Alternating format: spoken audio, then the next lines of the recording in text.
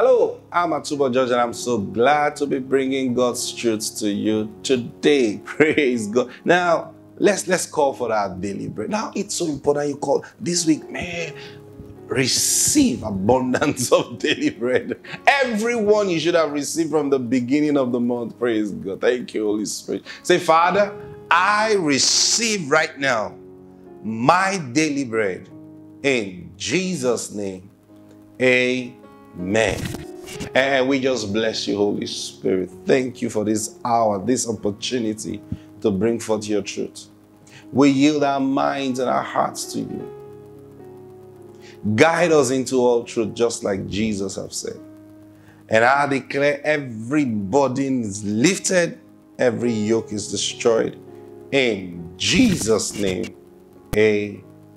Praise God. So, so I was sharing with you yesterday, you can produce a miracle this week. Now, we're still talking about spiritual financial intelligence. Now, walking in spiritual, walking in spiritual financial intelligence.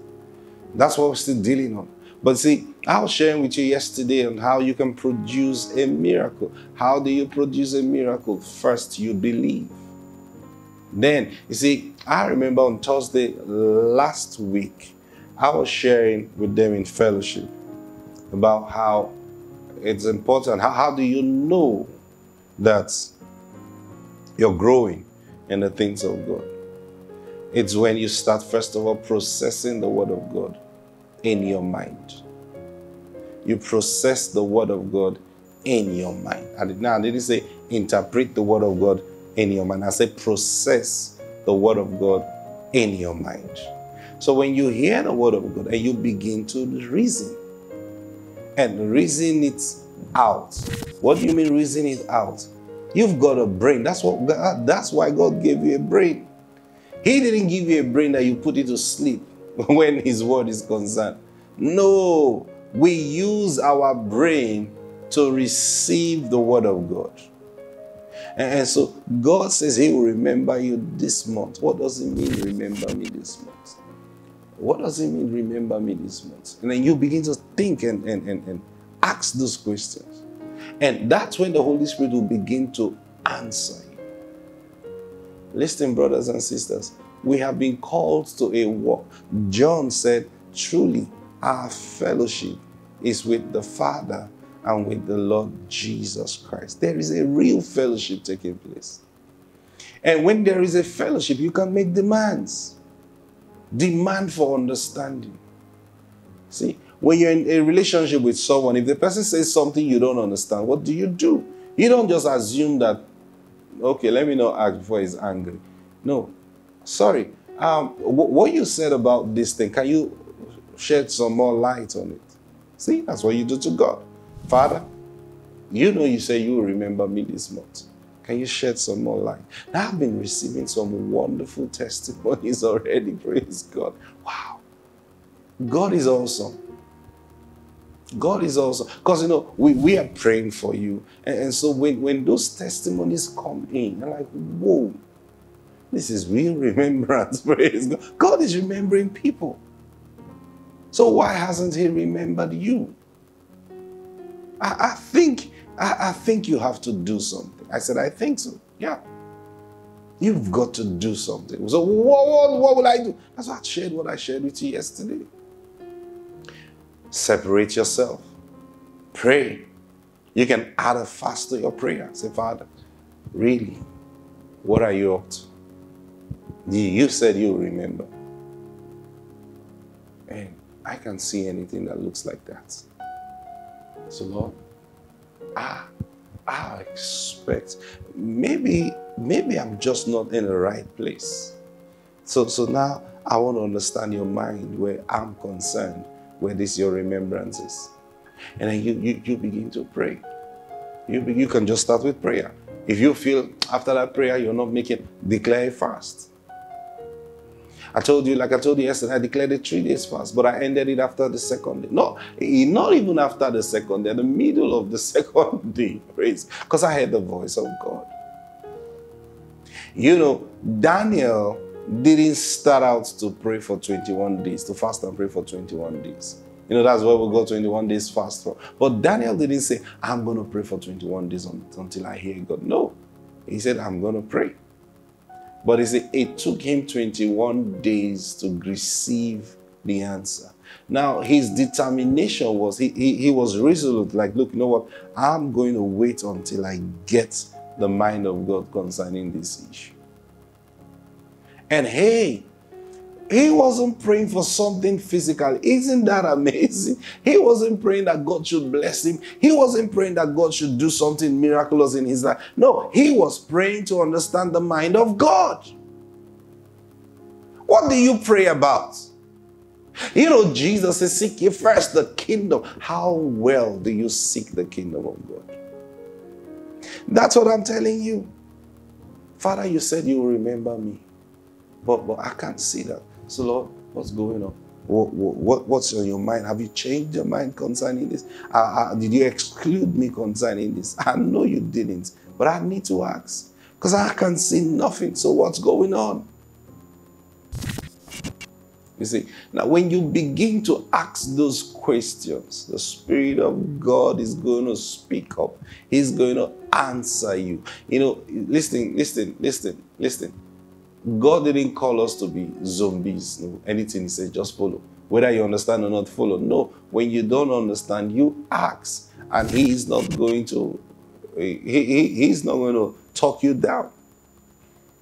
James tells us if any man lack wisdom, let him ask. What does that mean? If anyone lacks explanation, let him ask, and it shall be given him. Praise God. You know, Mary asked that question when the angel spoke to her, How can these things be? Seeing that I don't know man, any man. That was an intelligent question. Because you're telling me I'm going to give birth to a child, and your, your word is sounding urgent, but I'm not even ready to marry yet. I'm betrothed to a guy, but but marriage is not on the table yet, right now. We, we are not thinking marriage right now.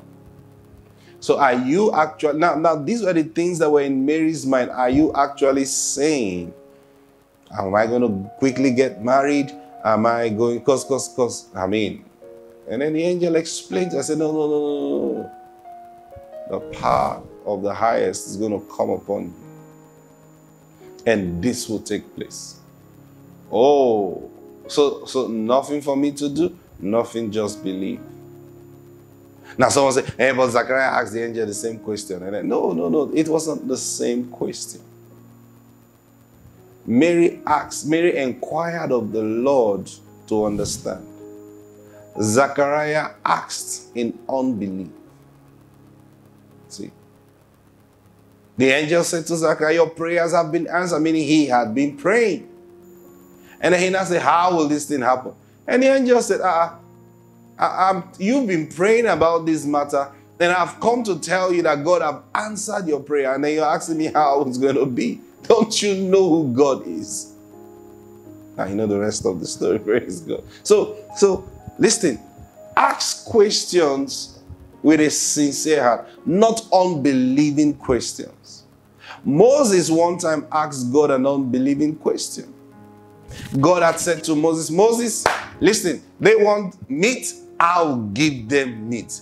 And Moses said, Lord, where are you going to get me to feed all these people? Do you know what you're talking about? And God said, Moses, do you know who you're talking to? There are, there are things you ask God that provokes him. I, I found out, out even from scriptures. Zachariah asked and he became dumb. It was Moses that asked that question, not the children of Israel that made God say, Look, they will eat meat until it will come out of their nostrils. Moses was the cause of that.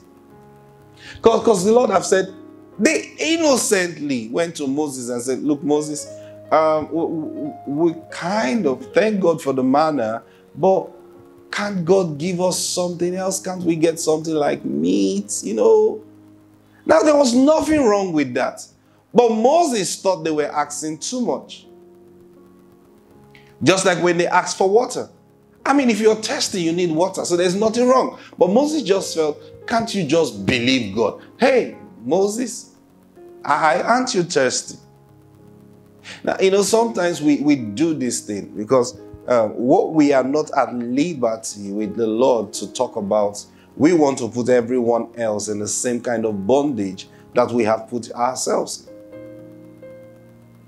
So they said, Moses, we want water. Moses said, what, what nonsense.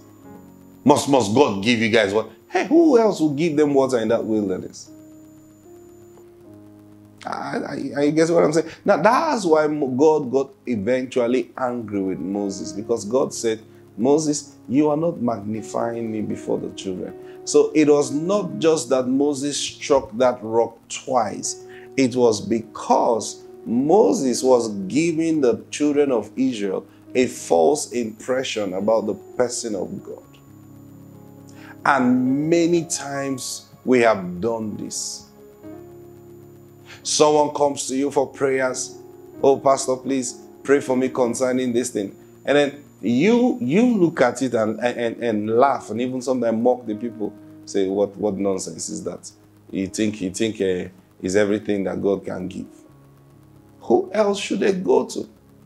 What you're supposed to do as a, as a, as a pastor, as a, as a man of God, or as one who, who, who knows God, is to say, okay. Now, of course, there are things that people come and tell you. When someone comes, imagine someone comes and say, please, pastor, we want to go for this robbery operation. Please pray that God will make it successful. You, you know outright that you, you send those ones away or school them in the truth.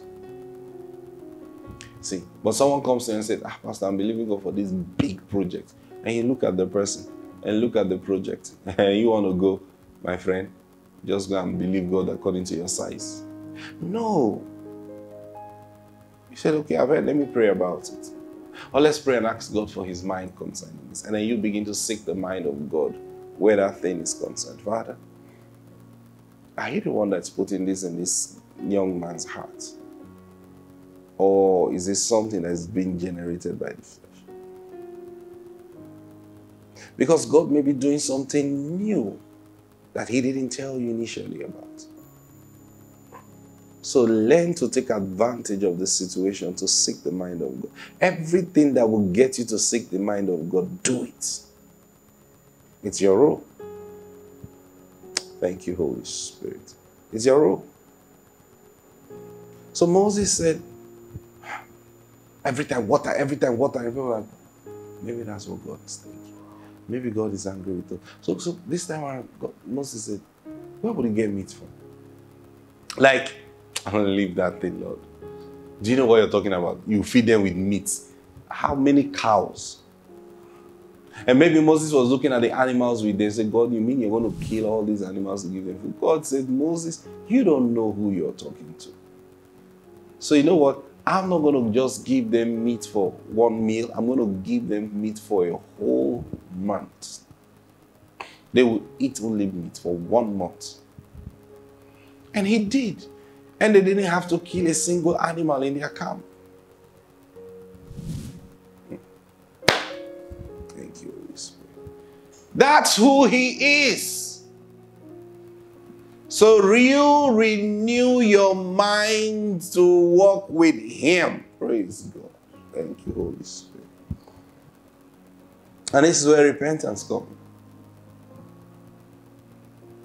So when God says to you, I'm going to do something, if you don't understand it, shh, keep quiet.